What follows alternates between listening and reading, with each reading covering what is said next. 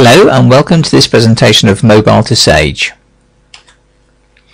My name is Ara Martirosyan and I'll be guiding you through a uh, demonstration of what the product can do. Uh, it's aimed at freeing you from your back office.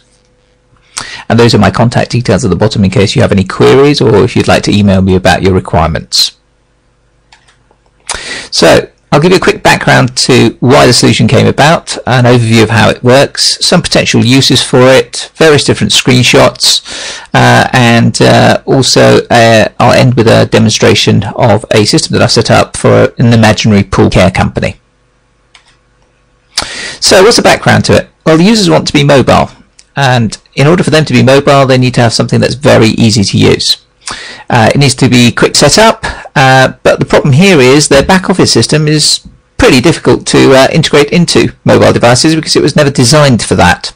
Also, there are various different types of mobile devices. You can have scanners as well as the various different types of phones, be it an iPhone, an iPad, an Android phone, or Windows Mobile. Furthermore, mobile users need to be able to do their processes both online and offline uh, using you know 3G or Wi-Fi. And also the processes need to be user configurable, so the user needs to define how they want to work. So how does it work? Well, it's pretty simple really. Uh, we set up the business process for you, and that's normally a one day or two day job. You then pick your mobile device and you log onto our website, so that could be from an iPhone or a barcode scanner, uh, which then downloads the application onto your mobile device and then we integrate the process data that's captured from the mobile device back into your Sage. In this particular case, I'm going to be looking at Sage 50, but it does work with 100, 200, 500, 1000 CRM. In fact, it works with any system as long as we can export and import data into it. So what about potential uses? Well, this can cover any business transaction. And what we can do is link parts of that business transaction to your back office system. So in this case, Sage 50 could be updated with a creating a new customer or generating a new invoice or checking prices or whether the customer's on hold, all of those things. Uh, you can define your own screens, your own fields, your own logic. You can even capture things like signatures and photos and audio files. And having set it up, you can also access it from your desktop browser, uh, from a browser something like uh, Safari, something that uses HTML5. Uh, for this presentation I'm going to be using a, a, an iPhone screenshot but you could just as easily use a barcode scanner uh, like the symbol one there uh, and it works on uh, iPhone, Palm, Windows Mobile or Android.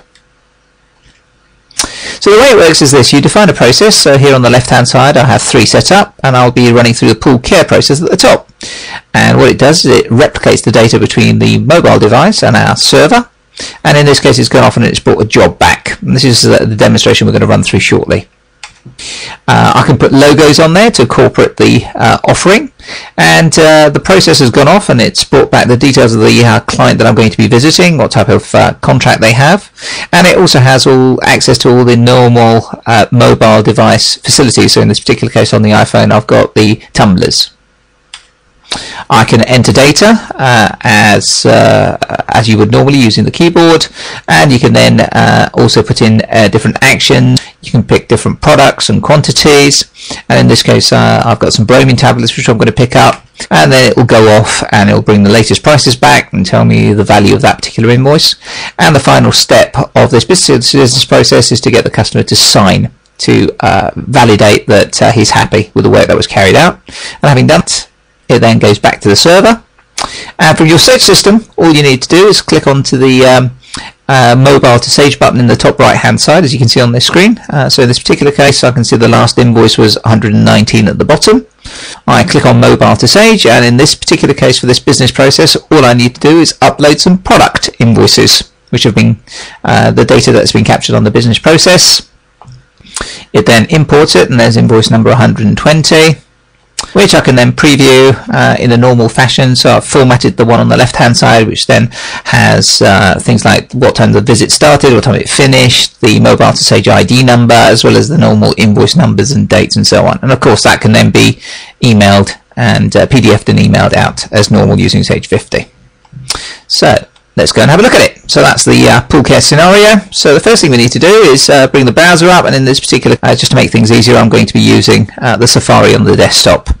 So at the moment, uh, my pool care engineer is out there in the field and he has no jobs associated uh, with him. So what I'm going to do is I'm going to now allocate a job through the back office system to him and that's now been sent. So let's just replicate that and off it's doing it's going off to the server and it's uh, coming back uh, with any new jobs so let's just double check that there you go so he's been allocated that job so he now gets in his car or his van and he says right I now need to go and see uh, that's my company logo and I now need to go and see uh, Mr. Mark Everett, who is uh, the customer with a gold pool care contract, so he gets a super service, and that's his account detail, Red IT1, in the Sage system. So I started at quarter past five and I actually finished the job at quarter past six. Um, and what did I do? Well, uh, the first thing I did was I actually checked the pump filter and that was okay. And uh, the thing I also did was I went and checked the pH levels in the swimming pool. And that was a little bit low. So I think I'm going to have to add some um, chlorine to it. So let's go on to the next page and I can now at this point uh, put in the uh, chemicals that I use. So I use some bromine tablets uh, and I used 10 of those. And uh, that's great. So the next thing I need to do is the invoice date correct. I can go to the next bit. And it's now going and uh, check uh, doing the calculation of the invoice value and it's come back and it says I uh, have got one item which is 519 pounds for this particular visit. And uh, those that's the breakdown of it. And all of these screens can be tailored and uh, manipulated uh, as required. And uh, what I need to do is get the customer to uh, sign it off. And that's it, job done. The engineer has done his work.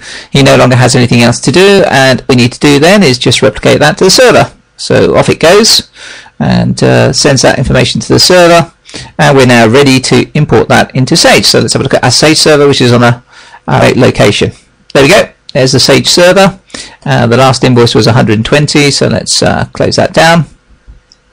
And I'll now go to mobile to Sage, which will then open a connection between this uh, Sage 50 and the mobile to Sage server, and it's now logged on, and it now knows that it needs to upload the product invoices. So I'll now click on that. That's it, job done. I can disconnect uh, from Sage and exit it, go into my invoice list, and there it is, invoice 121. So let's print it and have a look at it.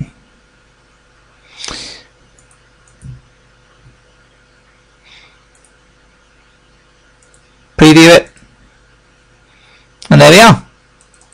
There's our invoice started at 5.15, finished at 6.15, invoice number 121, mobile ID 1000 and, uh, so 10,023 for account red IT1. I sold him 10, I used 10 bromine tablets at £44 each. Uh, I tested the pH, which was a bit low. I tested the pump filter, which was all okay. And there it is. And uh, obviously what I can do then just uh, email that off. And uh, off it goes. And uh, close that down and close that down. And uh, I can have a look at it. There you go there it is in my inbox uh, as you would expect it to be. So dear sir or madam here's your PDF invoice.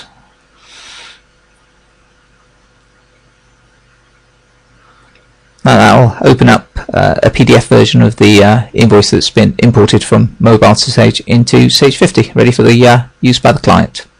Dead simple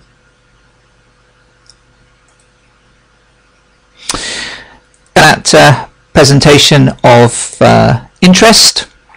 Uh, what else can we help you with? Well, basically anything to do with Sage really uh, and Microsoft. So if you've got any particular uh, Sage queries or if you need any integration work or if you require any bespoke work, then please don't hesitate uh, to give us a call. Uh, thank you for your time and attention. Um, my name is again Ara Martirosyan and my contact details are ara at mobile2sage.co.uk or you can visit the website for the latest developments. Thank you.